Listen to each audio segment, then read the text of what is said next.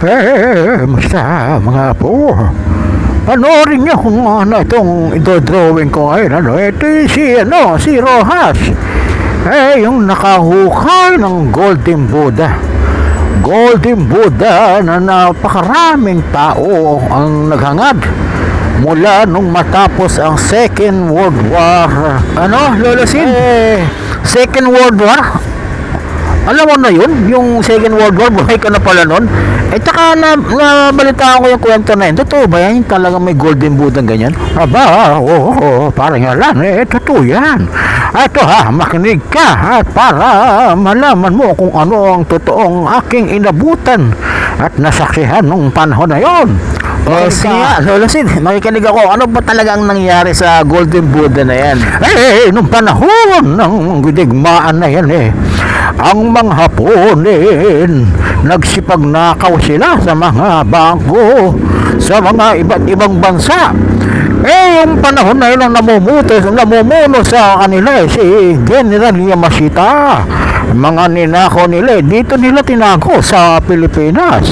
Talaga, Ah, Lolo Sid. sapagkat, Eh, eh, bakit dito sa Pilipinas nila naisipang itago yung mga ginto na nila? Eh, kasi nga, paringalan dito, eh, maraming pulo-pulo.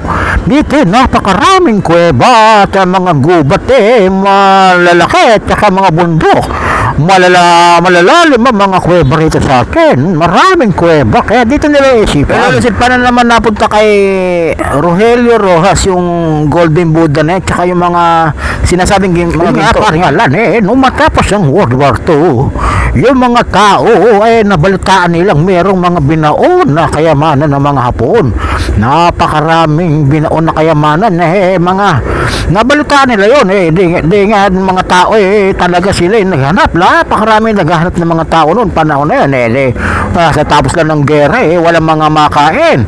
Eh, tumagal ang panahon, eh, wala silang nahukay. Itong si Rogelio Rojas, eh, ito eh, gumagawa ng mga susi. Ito eh, nasa Baguio.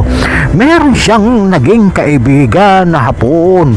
Ito hapon na ito umamin sa kanya na siya para interpreter ni General ah, Yamashita. Itong hapon na kaibigan ni Rojas. Ano? nabanggit sa kanya ni Rojas na meron siyang mapa ng kayamanan. Eh kasi ngayon nalaman ng hapon na si nagki-treasure hunter. Ito, ito si Rojas eh gumagastos ng sarili niyang pera para buwilo ng mga gadget na mm, panggamit, panghukay, eh, mga metal detector, eh, kaya nga, bumili siya. Eh, parang nagtagal lang paghahanap niya, wala siyang nakuha. Eh, hanggang sa naisipan niyang ah, may itong mapa na itong binigay sa kanyang hapon, eh, parang eh, hindi niya makita kung saan eh, pamamuntik na siyang sumuko noong mga panahon na yun, parang alan. Pero habang tinitingnan niya yung mga tauhay ko, hindi kasi kumuha siya ng mga tauhay para katulong niya mag maghanap ano. Nung mamuntik na siyang sumuko, eh may Eh, nag-iisip paano niya eh. nahuka yung kayamanan, Lolo Sid? Paano? Paano Oo, nangyari? oo, eh, ito nga, ah, paringalan eh. Habang nakaupo siya, eh, may nakita siyang bala. No, agad-agad niyang kinuha ang kanyang metal detector at kanyang pinagala-galing may metal detector niya hanggang sa yung tunog ng metal detector niya eh. Palakas ng palakas. Eh, may mga nakaharang na bato. Eh, naalala nga ng kwento ng kaibigan ni Ross na isang yung mga hapon na nagbaon ng kayamanan nito eh pinatay sa loob ng kuweba. Habang nasa loob yung mga hapon na inutusan na Yamashita eh kinulong, pinasabog yung bunganga ng kuweba, pinasabog hanggang sa makulong ang, ang mga hapon na yun. Eh, di ang agad-agad na ginawa ni Rogelio Rojas, eh, binakbak yung mga malalaking nakaharang na mga bato sa kuweba. Eh, hanggang na nakunong matatapos na sila eh. Nakita nila na mayroong simento na konkretong simento na may parang flooring. Ang ginawa nila, binakbak nila yung simento. At hanggang sa bumagsak yung simento, doon na. Buma, bumungad sa kanila ang napakaraming ginto. Isang budang budang nakidangi budang ginto. At marami pang ibang klase ng buda. Eh mga mahigit sampu ang nakita ni Ross noon at saka yung mga kahon-kahon na kahoy na. Kahoy na pa, parang kahon eh. Kasi laki ng mga ano, mga uh, mga yung mga Eh, ano ang laman ng kahon lolosid na binuksan mo nila? Eh, siyempre, man ang kahon parang alam eh. Bara-bara ng ginto ang nakita Rogelio Rojas at ng kanyang mga kasama. Eh, eh, doon eh. Ang ginawa nila, nag-uwi siya ng isang golden Buddha.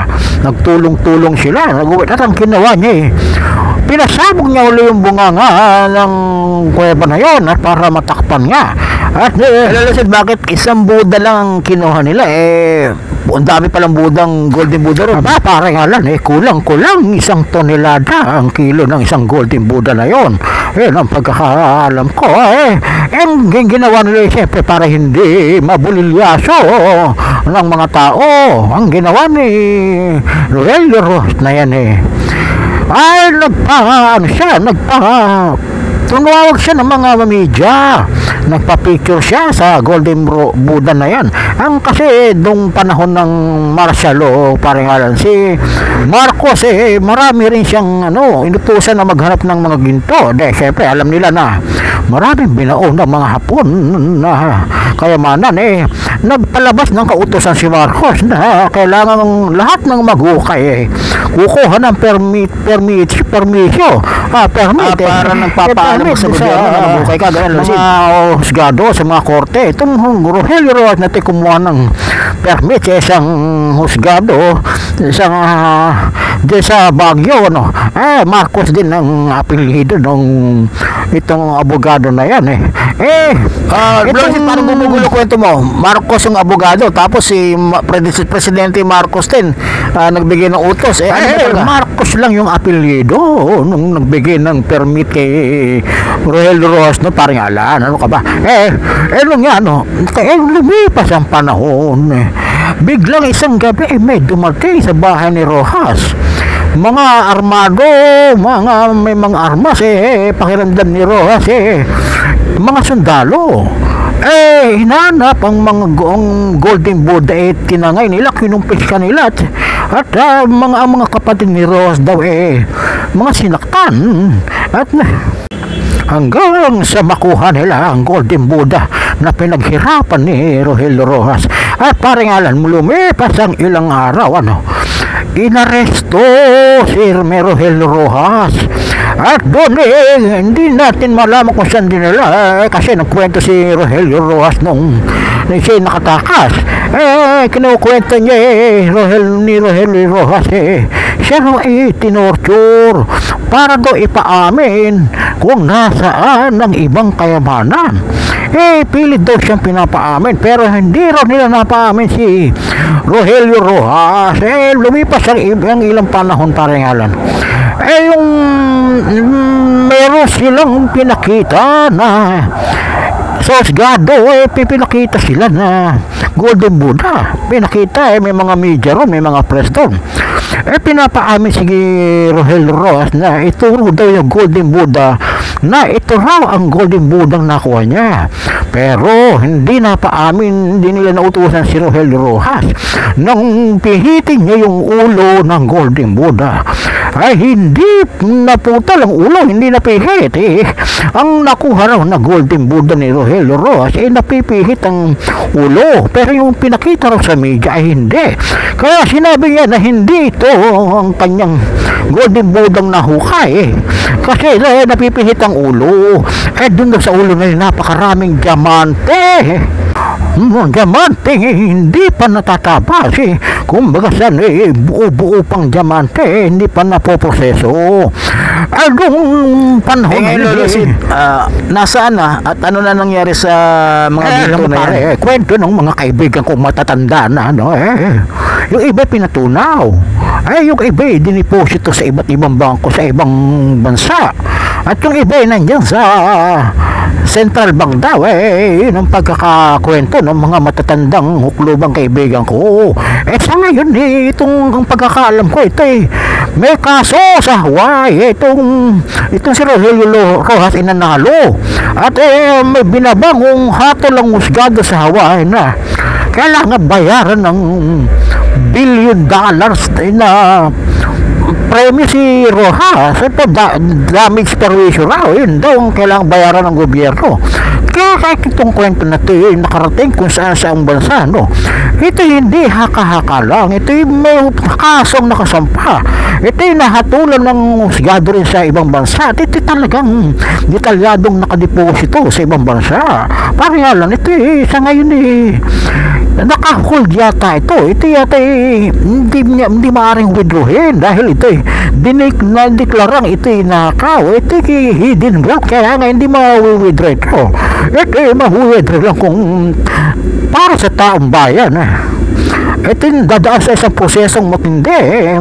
Tama ang proseso dapat. Ilulusid na sana si Roel Ross ngayon. na kamusta na ba siya? Ano, sa edad na 49, siya yumao.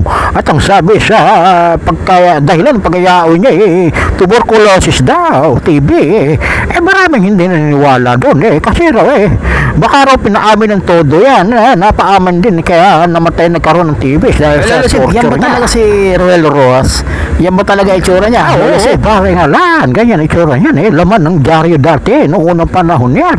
Eh, eh, eh, yung si Rogelio Rojas eh, okay na yan eh, ako naman eh, hindi arte sa pare nga lan, ano, pagka ganyan ang drawing ko, ganyan talaga itsura ni Rogelio Rojas. Eh, ang payo ko lang kay sa atin, ano, um, sana eh, ating pagdasal na makuha yung kayamanan eh. Yan daw eh, pinaka malaking kayamanan sa buong mundo. Eh, eh, marami nagpapatunay yan eh. Eh, mapakinabangan ng mga Pilipino yan. Sana eh, mapakinabangan ng mahihirap. Eh. Mabayaran ang utang natin na matagal ng utang na hanggang ngayon daw binabayaran pa natin.